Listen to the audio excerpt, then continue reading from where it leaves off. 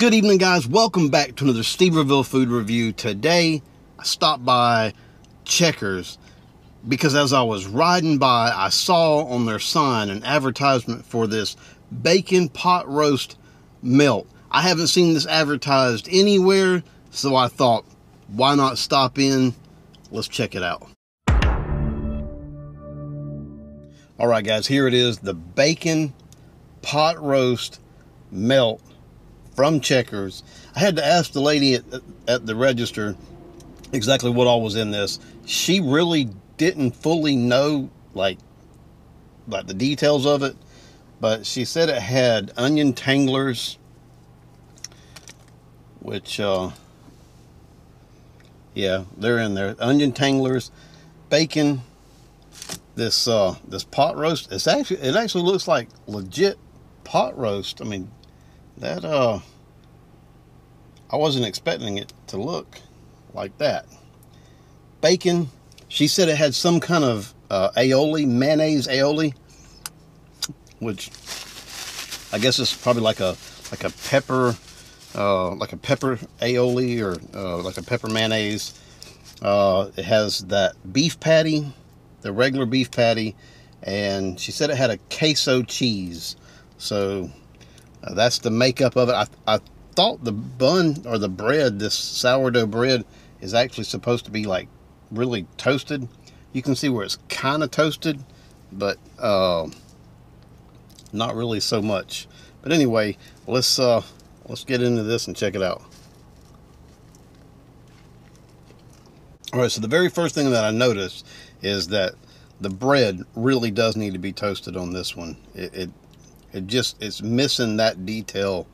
But you can see cross section there, beef patty, roast beef. I want to get a taste of the roast beef just by itself. The flavor of the sandwich is actually, or the burger.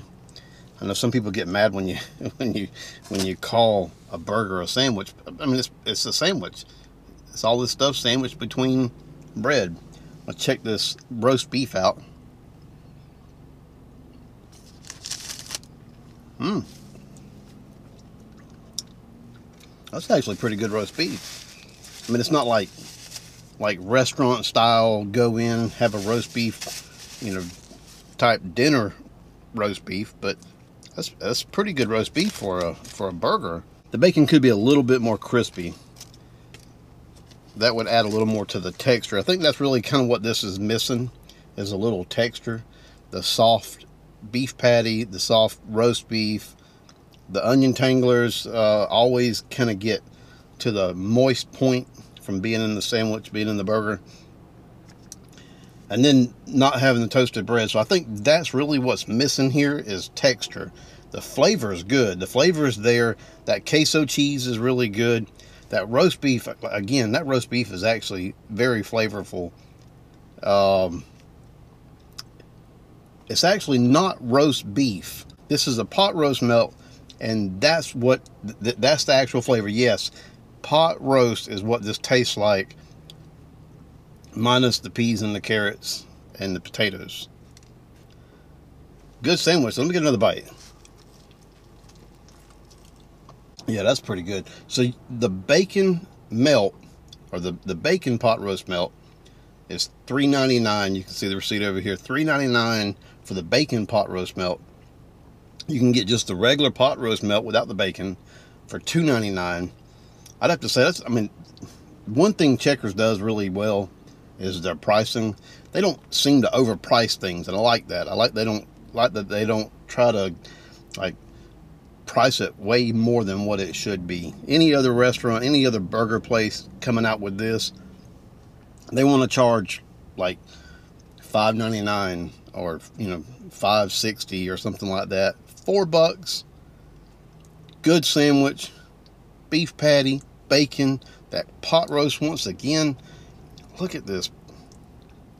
That that, that just kind of really gets me with how tender. Look at the the tenderness of this pot roast. Look at there. I mean, that's like legit, legit pot roast. Let me get one more bite and then we'll give this thing a rating. All right, guys, I really, really like this sandwich. I love the flavors on this sandwich. The only thing that's missing is the texture. That's it. Texture, that's the only thing that's missing out of this sandwich. Price is good.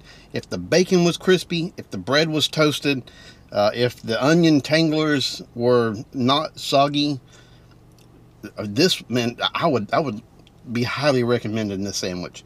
The price is perfect. It's like set right where it should be the again the flavor is there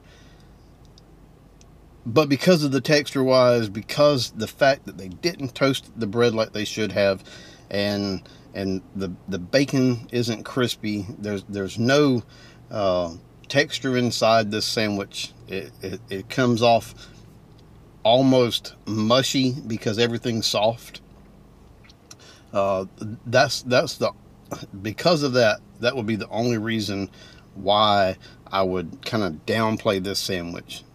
On a scale of 1 to 10, I'm to give this pot roast melt, bacon pot roast melt from Checkers, a solid 7. I almost want to move it into the 8, but it, it's just not going to get there. Solid 7. I would recommend it. If you get it, just tell them, make sure you toast the bread and that'll make a huge, huge difference in that sandwich for you. Well, that's my view of the bacon pot roast melt from Checkers. And with that, I say good day.